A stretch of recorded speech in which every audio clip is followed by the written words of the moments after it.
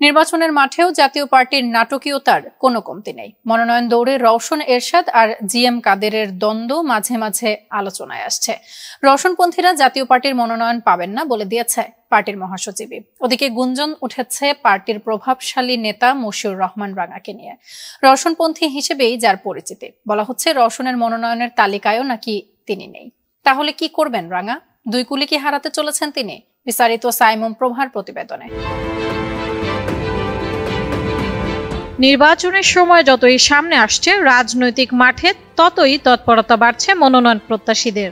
নানা সমীকরণে রাজনৈতিক দলগুলো জাতীয় পার্টিতে রওশন কাদের দ্বন্দ্ব আলোচনায় আসছে বারবার। পার্টির প্রধান পৃষ্ঠপোষক ও সংসদের বিরোধী নেতা রওশন এরশাদের পক্ষে অবস্থান নেওয়ায় গত বছরের চোদ্দ সেপ্টেম্বর মশিউর রহমান রাঙাকে দলের সব পদ থেকে অব্যাহতি দেন জাপার চেয়ারম্যান জি এম কাদের।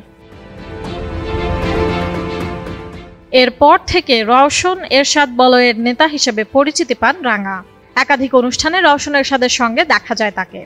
সেই রওশন এরশাদ আগামী দ্বাদশ সংসদ নির্বাচনে দলীয় মনোনয়ন চেয়েছেন তিনজনের জন্য, যেখানে নাকি রাঙার নামই নেই। পঁচিশ নভেম্বর রওশন এরশাদের চাওয়া মনোনয়ন ফর্মের এ তালিকায় তিনজনের মধ্যে নিজের নাম না দেখে হতাশ হন মশিউর রহমান রাঙা, জানিয়েছেন তার ঘনিষ্ঠজনেরা। তারা বলছেন, রওশন এরশাদপন্থী আরও কয়েকজন নেতার সঙ্গে বৈঠক করেও এ নিয়ে কাঙ্ক্ষিত কোনো ফল পাননি তিনি। যে কারণে স্বতন্ত্র প্রার্থী হিসেবে নির্বাচনে অংশ নেওয়ার প্রস্তুতি নিচ্ছেন। গত বছরের একত্রিশ আগস্ট জিএম কাদেরকে বাদ দিয়ে জাতীয় পার্টির সম্মেলন প্রস্তুতি কমিটি গঠন করেন রওশন এরশাদ। এতে ক্ষিপ্ত হয়ে সংসদের বিরোধী দলীয় নেতার পদ থেকে রওশন এরশাদকে সরিয়ে নিজেকে বিরোধী দলীয় নেতা করতে স্পিকারকে চিঠি দেন Jatiya party chairman G M Kader. সেই চিঠিতে নিজের স্বাক্ষর প্রসঙ্গে রাঙা বলেছিলেন, তিনি কোনো চিঠিতে স্বাক্ষর করেননি।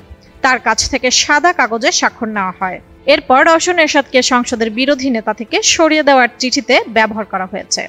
এরপর রাঙাকেও বহিষ্কার করা হয়। পরে রাঙা রওশন এরশাদের সম্মেলন প্রস্তুতি কমিটিতে যোগ দেন। Desk report, ATN news.